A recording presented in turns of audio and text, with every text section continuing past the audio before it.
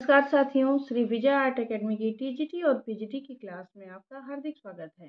दोस्तों, हमारी वीडियो आपको पसंद आए तो आप हमारे वीडियो को लाइक करिए, चैनल को सब्सक्राइब करिए और घंटी का बटन ज़रूर दबाएँ। साथियों, ये हमारा व्हाट्सएप नंबर है, इस नंबर के थ्रू आप हमसे जुड़ सकते हैं डायरेक्ट पूछ सकते हैं। वहाँ पर जो है टेस्ट टेस्ट होते हैं।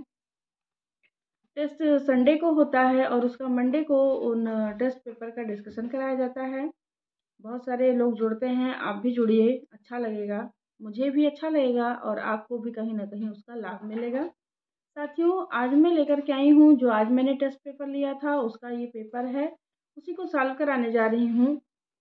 तो आप हमारे साथ बने रहिए, हमारी वीडियो के साथ बने रहिए। आइए देखते हैं। देखिए, पहला प्रश्न जो है, झूकर तथा झांगर सभ्यता की खोज 1932 ईस्वी में किसने किया था? A, Dayaram Sahni, B, Stuart Piggott, C, sir john Marshall, D, Shri N G Majumdar. तो झुकर तथा झांकर सभ्यता थी। इसकी खोज जो है 1932 ईस्वी में श्री एन जी मजूमदार ने की थी। तो ये आपका उत्तर सही हो जाएगा। जिन बच्चों ने अपना टेस्ट दिया है अगला हमारा प्रश्न है, अमरनाथ नामक स्थान पर नर्मदा नदी के उद्गम में कौन सी गुफा स्थित है? ए बाघ की गुफा, बी सित्तनवासल सी जोगी मारा की गुफा, डी सभी तो अमरनाथ नामक स्थान पर नर्मदा नदी के उद्गम में जो है, जो गुफा है, वो जोगी मारा की गुफा है। ये 300 ईसा पूर्व की गुफा है। इसमें हमारे एशिया की कहा जाता है, एशिया की सबसे प्राचीन नाट्यशाला यहीं पर बनी है। सीता बोंगरा या सीता लांगड़ा के नाम से जाना जाता है। अगला प्रश्न देखिए। रावण की चित्रशाला का वर्णन किस पुस्तक में मिलता है? A, Mahabharata, B, Ramayana, C Natya Shastra D, Ashtadhyayi. तो रावण के पास एक चित्रशाला थी, जिसका वर्णन रामायण में किया गया है। रावण की बात है तो उसका जो वर्णन होगा वो रामायण में ही आपको मिलेगा। अगला प्रश्न देखिए। जोगी मारा गुफा का प्रमाण क्या है? यानी जोगी मारा गुफा की जो लंबाई, चौड़ाई, ऊंचाई है, उसकी माँ बाप से पूछ रहा है। ए दस गुड़े छः गुड़े छः बी छः गुड़े छः गुड़े दस सी छः गुड़े छः गुड़े ग्यारह डी दस गुड़े छः गुड़े चार। तो इसमें आप देखिए, जो जोगी मारा की गुफा है, उसका जो सही माप है, वो दस गुड़े छः गुड़े छः होगा। अगला प्रश्न देखिए। किस गुफा के चित्रों में बौनी आकृतियाँ साची एवं भरहूत से मिलती जुलती हैं? ए अजंता बी जोगी मारा सी बाघ डी एलोरा। तो जो जोगी मारा की गुफाएँ थी, उसमें जो आकृतियाँ बनी हुई हैं, बोनी आकृतियाँ, वो सांची और भरहुत से मिलती जुलती हैं।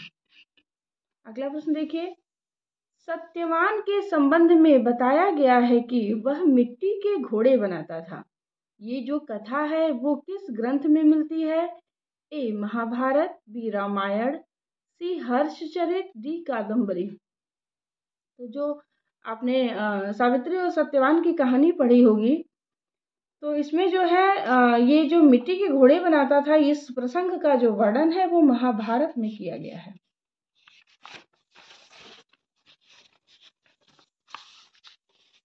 अगला प्रश्न देखिए। मेदनी कोश नामक ग्रंथ में चित्रकार को क्या कहा गया है? ए, वर्तिका, बी वर्णाट सी वर्णाट डी, योगी। तो मेदनी कोश नामक ग्रंथ में चित्रकार को कहा गया है वर्णाट। अगला प्रश्न देखिए। भरत मुनि ने नाट्य शास्त्र में किन किन प्राथमिक रंगों को बताया है? ए, लाल, पीला, हरा। बी, लाल, पीला, श्याम। सी, लाल, हरा, नीला। डी, कोई नहीं। देखिए, दोस्तों, ये बहुत ही अच्छा प्रश्न है, बहुत इंपॉर्टेंट प्रश्न है आप लोगों के लिए। कि भरत मुनि ने नाट्य शास्त्र में किन किन प्राथमिक रंगों को बताया है तो वो हो जाता है आपका लाल, पीला और श्याम रंगों का वर्णन किया गया है। अगला प्रश्न देखिए। कालिदास द्वारा रचित मेघदूत रघुवंश का रचना काल क्या है? यानी कालिदास ने जो मेघदूत और रघुवंश का जो रच, रचना की थी, उसका समय क्या है? ए द्वितीय शताब्दी, बी प्रथम शताब्दी, सी ए और बी दोनों डी कोई नहीं। तो ये आपका हो जाएगा प्रथम शताब्दी। अगला प्रश्न देखिए। चित्र सूत्र का सर्वप्रथम अनुवाद अंग्रेज़ी में किसने किया था? A doctor Stella Kramrisch, B doctor Ananda Coomaraswamy, C John Smith, D सभी। तो चित्र सूत्र का जो सबसे पहला वर्णन, अनुवाद जो अंग्रेज़ी में किया गया था, वो डॉक्टर स्टेला क्रैमरिच ने किया था। मैत्रेय बुद्ध, अर्थात भविष्य में अवतरित होने वाले बुद्ध को क्या कहा जाता है? A, Ajit, B, Ajit, C, Ajishtha, D, सभी। तो ये जो भविष्य में अवतरित होने वाले बुद्ध यानी मैत्रेय बुद्ध को कहा जाता है आजित इस शब्द से जाना जाता है। अगला प्रश्न देखिए ट्रेवल्स इन इंडिया नामक पुस्तक के लेखक कौन है? A, Yuan Chwang B, James Fergusson, C, Faxian, D, Major Robert Gill. तो ट्रेवल्स इन इंडिया नामक पुस्तक के जो लेखक हैं, वो चीन के हैं, युआंग च्वांग अगला प्रश्न देखिए। चीनी बौद्ध यात्री युवांग चुआंग ने अपनी किस पुस्तक में अजंता गुफा के चित्रों की भूरी भूरी प्रशंसा की है? A rock temples of Ajanta B painting of Ajanta caves C travels in India D कोई नहीं। अभी इसके पहले वाले प्रश्न में आपने पूछा कि ट्रेवल्स इन इंडिया जो पुस्तक थी, उसे युवांग च्वांग ने लिखा है तो इसी पुस्तक में उन्होंने अजंता के चित्रों की भूरी भूरी प्रशंसा की है। अगला प्रश्न देखिए। महाहंस जातक, मात्र पोषक जातक वेशांतर जातक का चित्र मिलता है। ए गुफा संख्या सोलह, बी गुफा संख्या सत्रह। यहाँ पर सी होना चाहिए, सी गुफा संख्या दस, डी गुफा संख्या एक।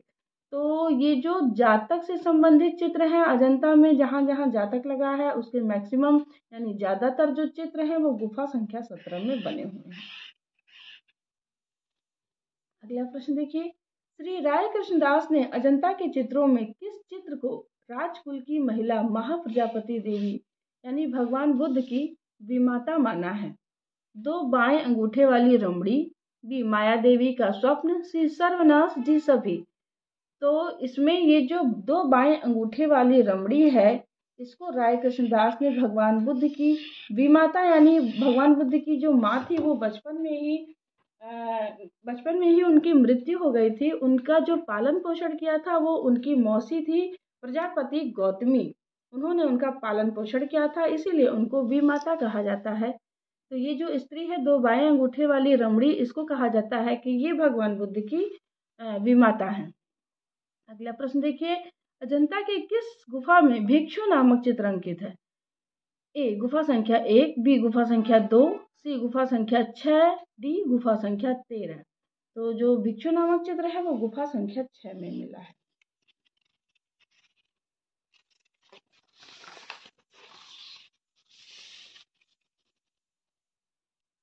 अगला प्रश्न देखिए, बाघ गुफा के चित्र, जुलूस के चित्र पर क अक्षर किस रंग से लिखा है?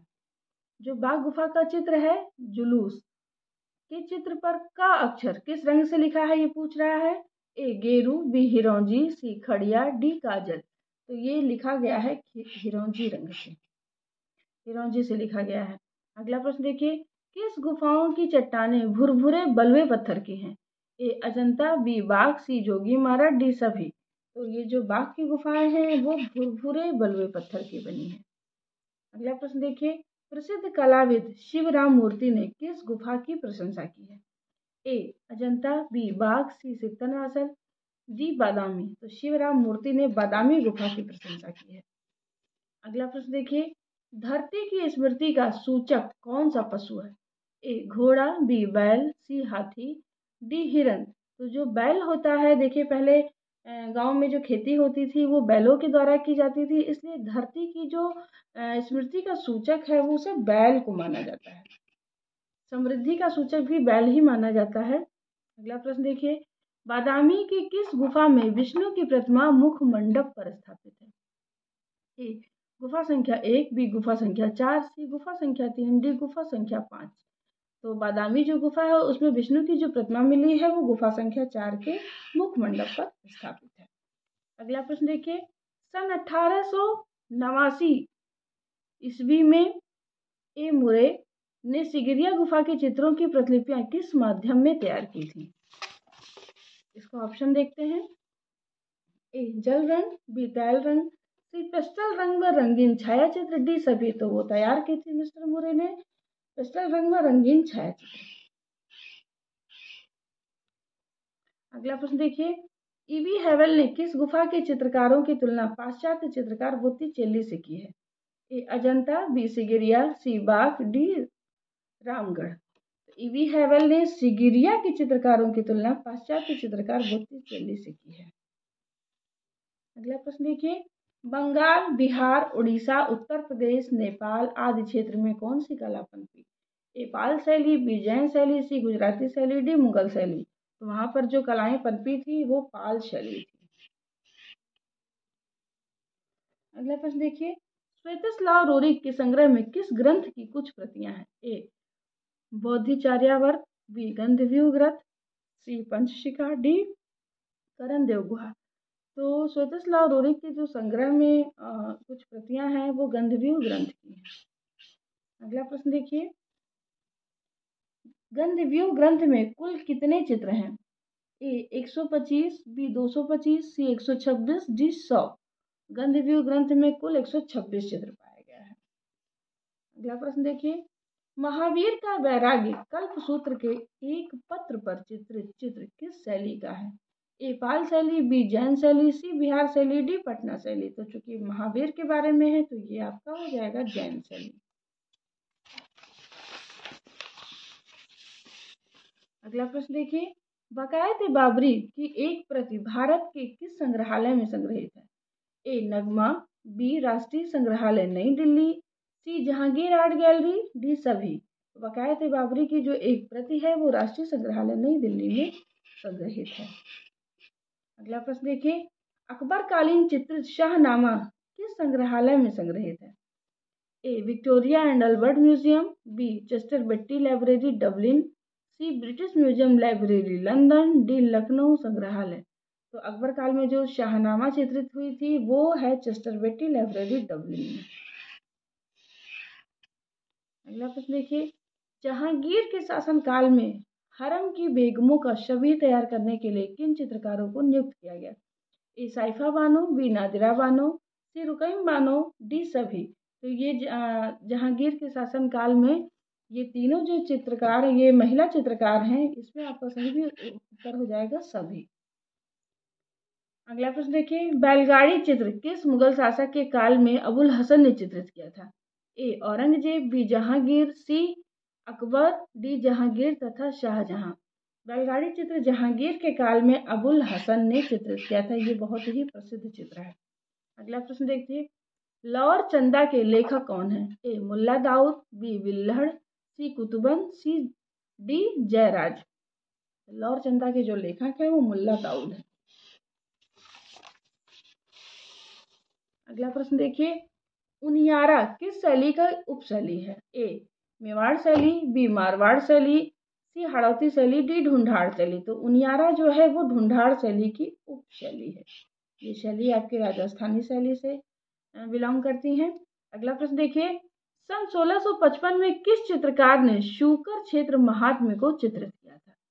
A, Manohar B, Sahibdin, C, Nisardin, D, Amar Singh. तो जो साहबदीन था, वो मेवाड़ शैली का प्रसिद्ध चित्रकार था, इसी ने शूकर क्षेत्र महात्म्य को चित्रित किया था। अगला प्रश्न देखिए, भ्रमर गीत का संबंध किस शैली से है? ए, मेवाड़ शैली, बी, जयपुर शैली, सी, बूंदी शैली, डी, किशनगढ़ शैली।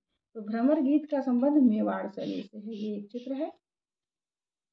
अगला प्रश्न देखिए, सबसे पहले ढोला मारू का चित्रण किस शैली में हुआ? ए, मारवाड़ शैली, बी, मेवाड़ शैली, सी, किशनगढ़ शैली, डी, सभी। देखिए, इसमें आपको हम बता दें कि इसका प्रश्न आता है और बड़ा कन्फ्यूज़न क्रिएट करता है ये प्रश्न। तो जो आपसे अगर पूछे कि सबसे ज़्यादा ढोला मारू का चित्रण कहाँ पर हुआ तो वो आपका जोधपुर में हुआ था, यानी मारवाड़ शैली में हुआ। लेकिन सबसे पहले अगर आपसे पूछता है कि सबसे पहले ढोला मारू का चित्रण कहाँ पर हुआ था तो वो आपका मेवाड़ शैली हो जाता है। अगला प्रश्न देखिए। देखिए, अगले ही प्रश्न में है ये। ढोला मारू का चित्रण सर्वाधिक किस शैली में हुआ? ए, मेवाड़ शैली, बी, जयपुर शैली, सी, अलवर शैली, डी, मारवाड़ शैली। तो कभी आपको जोधपुर शैली लिख करके देगा कभी मारवाड़ शैली लिख कर देगा इसको आप अपने दिमाग में इसको, इस कॉन्सेप्ट को क्लियर रखिएगा, ये आपका हो जाएगा मारवाड़ शैली या जोधपुर शैली। अगला प्रश्न देखिए, मेवाड़ में ढोला मारू का चित्रण किस शासक के शासनकाल में हुआ? A. Karan Singh, B. Amar Singh, C. Maharana Pratap Singh, D. Uday Singh. तो मेवाड़ में ढोला मारू का जो चित्रण हुआ, वो महाराणा प्रताप सिंह के समय में हुआ था। अगला प्रश्न देखिए। कटोच राजवंश किस शैली से संबंधित है? ए, कांगड़ा शैली, बी, गुलेर शैली, सी, मंडी शैली, डी, जम्मू शैली। तो जो कटोच राजवंश है, वो कांगड़ा शैली से संबंधित है। कांगड़ा शैली के जो राजा थे, वो कटोच राजवंश के थे। अगला प्रश्न देखिए। बहू के राजा आनंद देव का चित्र किस शैली में चित्रित है? ए, पुंछ शैली, बी, जम्मू शैली, सी, कश्मीर शैली, डी, किशनगढ़ शैली। तो ये जो चित्र है, ये जम्मू शैली का चित्र है। अगला प्रश्न देखिए। आनंदपुर लघु चित्रों का उत्तम केंद्र माना जाता है, ये किसके द्वारा स्थापित है? A, Kharak Singh, B, Dalip Singh, C, Sher Singh, D, तेज बहादुर। तो जो आनंदपुर है, वो तेज बहादुर के द्वारा स्थापित है। लघु चित्रों का जो उत्तम केंद्र माना जाता है, आनंदपुर, वो तेज बहादुर ने स्थापित किया था। अगला प्रश्न देखिए। चक्की पीसने वाले चित्र को किसने चित्रित किया? Souza, B, Ara, D, Raza, D, Husain. तो चक्की पीसने वाले ये जो चित्र है, इसे आरा ने चित्रित किया था। अगला प्रश्न देखिए। माँ बेटा सीरीज़ किस चित्रकार का है? A K C S Paniker, B, Jamini Roy, C, Tyeb Mehta, D, सभी।